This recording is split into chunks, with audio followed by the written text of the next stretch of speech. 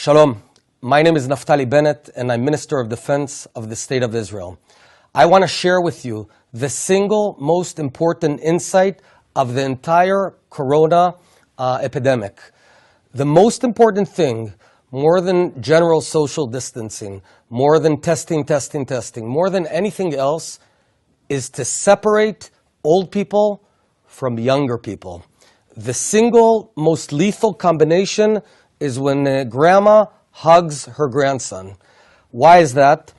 Because uh, corona is a unique virus in the sense that it's way more lethal for old people than for young people.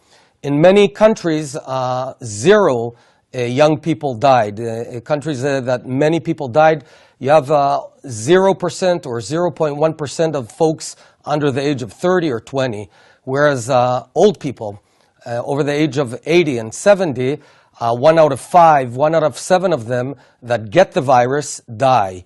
So what we need to do over the next uh, period of time is take care of grandma and grandpa, but from far away. Lots of WhatsApps and Skype and you name it.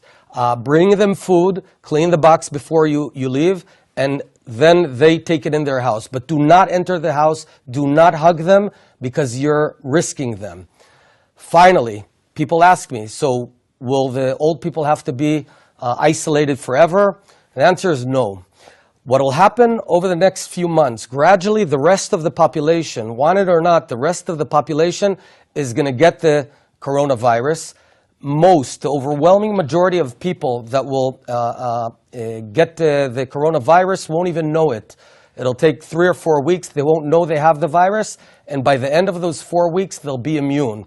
It'll start with tenth of a percent, 1%, 5%, 20%.